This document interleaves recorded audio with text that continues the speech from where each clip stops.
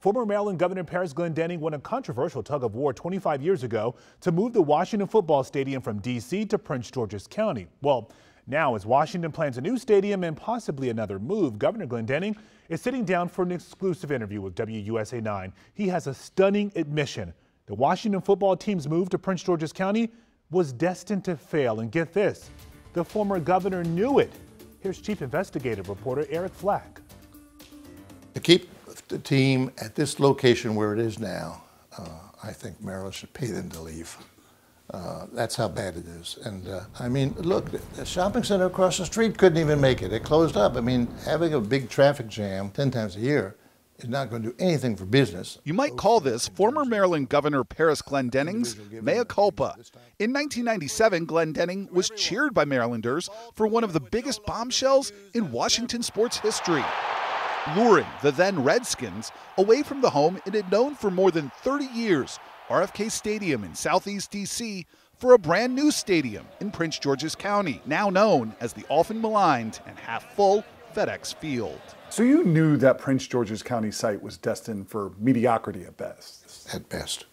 Uh, I knew more likely it would be a disaster. In fact, in the late 1980s, when then team owner Jack Kent Cooke first threatened to move the team out of D.C. if he couldn't reach a new stadium agreement with the district, Glendening, who was then county executive of Prince George's County, urged Cooke to keep the stadium in D.C. By the mid 1990s, Glendening had ascended to governor, and Cooke, well, he still needed a new stadium for his team. He zeroed in on this 200 acre plot of land right off I 95 in Landover, Maryland. And for the first time, he had the full support of Governor Glendening, who had flipped on his position of opposing a Washington football stadium in Maryland. Why? Around the same time, the original Cleveland Browns franchise was planning a move as well. This one to Baltimore. To close the deal, Glendening promised then Browns owner Art Modell a new downtown stadium in Baltimore.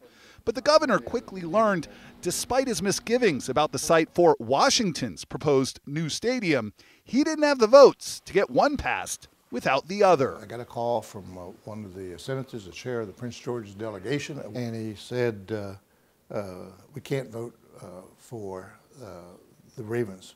And I said, what do you mean you can't vote? And he said, listen, we're senators from Prince George's County.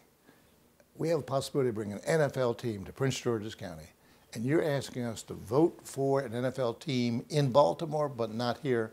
We'd be dead. We'd all be out of office. We can't do it. And not one, but two new professional football stadiums in Maryland were born.